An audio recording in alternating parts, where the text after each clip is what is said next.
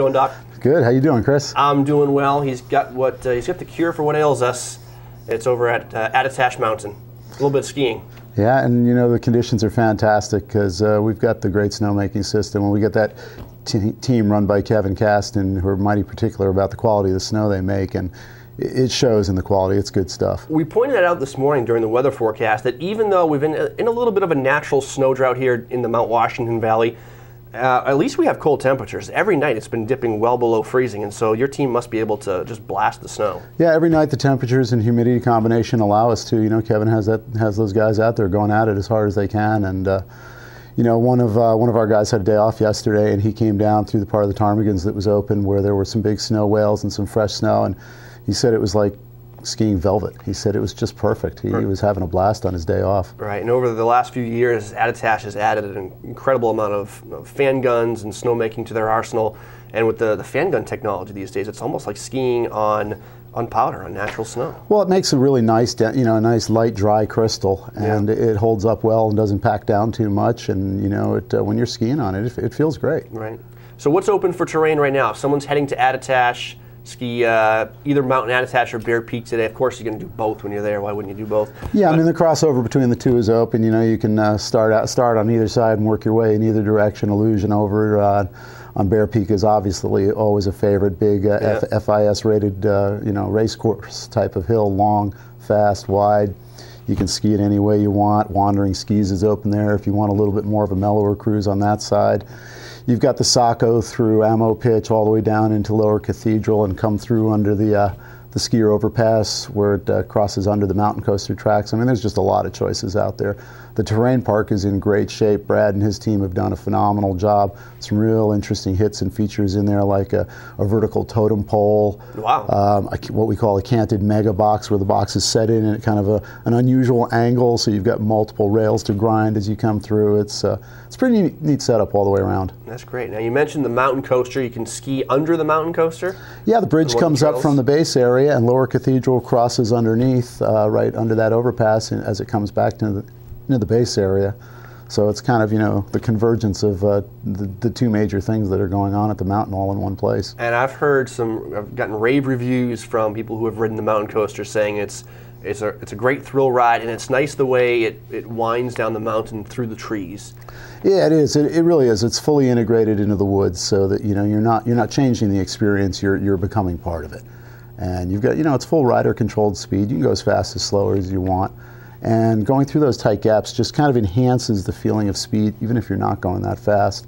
And it, it's a big adrenaline rush. I mean, every single person who's come off that has just been wide eyed and smiling and thinking, wow, I can't wait to get back on that again. And it's something a skier or non skier can do. You don't exactly. have to have your skis to, exactly. be able to do that. Uh, you get some music up, up in the pub today, I believe, uh, up at uh, Crosswinds. Up in Crosswinds every Saturday, we've got live music. Uh, I believe it's Adam Ezra uh, yep. this afternoon, uh, starting around three o'clock. They'll be there till about six thirty. Um, you know, there's a, there's a band every week. You go to the Après Ski page on the website, and there's a full list of bands, radio station promos.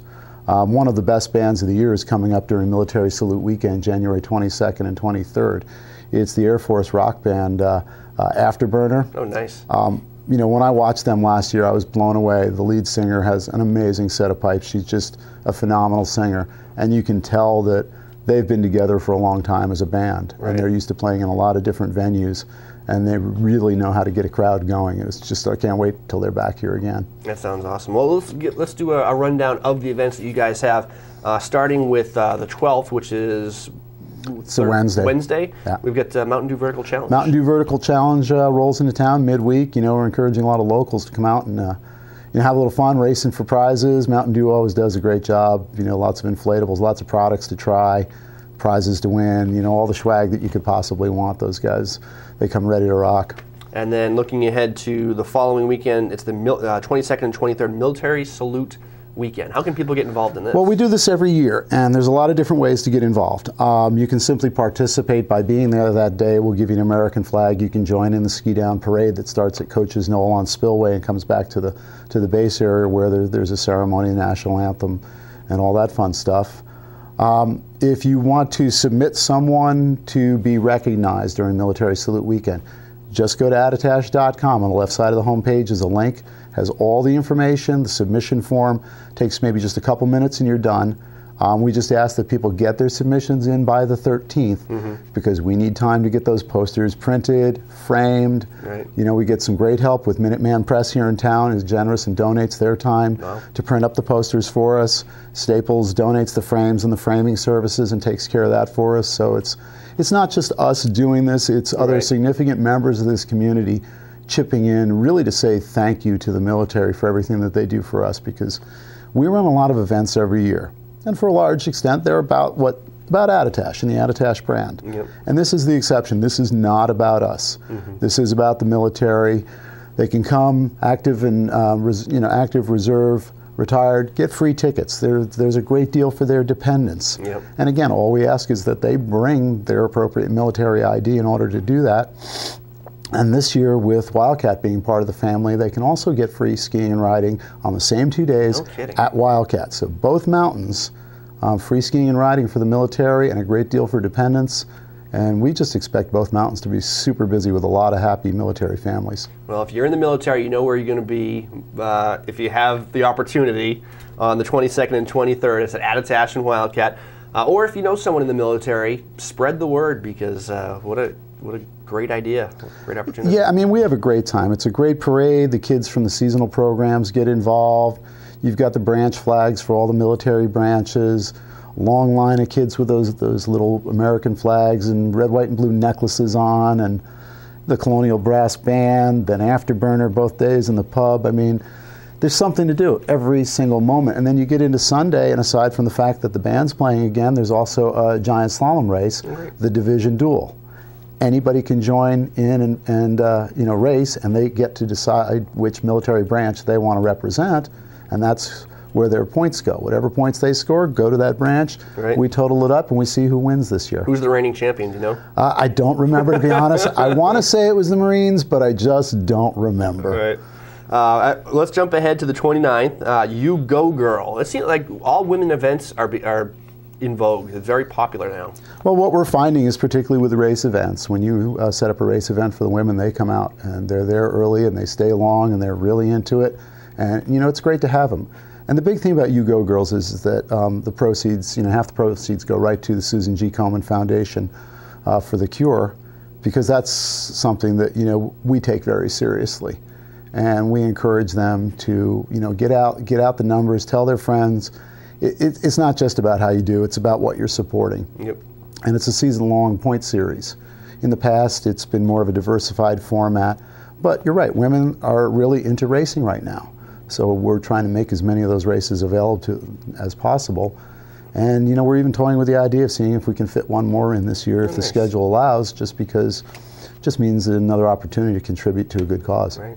So all you single guys, when you're up here on the 29th, saying, "Where are all the women?" They're at Attitash. they don't know. They're at where they are. Attitash and they're on the race course. And then Crosswinds Pub is going to be a great place to be for après ski that day.